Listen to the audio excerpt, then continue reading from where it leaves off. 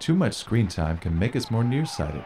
Focusing on something up close, particularly in the dark, creates eye fatigue and blurriness.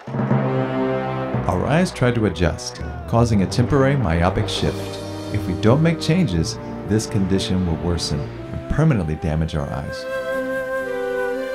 Being outdoors protects us against short sightedness. Exercise and fresh air are also good ways to avoid it. Only use your cell phone when you have to. Hold it away from your eyes and never use it in the dark. Don't watch films on tablets or cell phones. You'll strain your eyes. Movies are better on a large screen.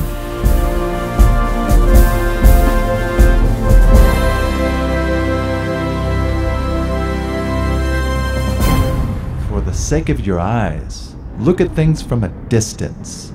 You'll see better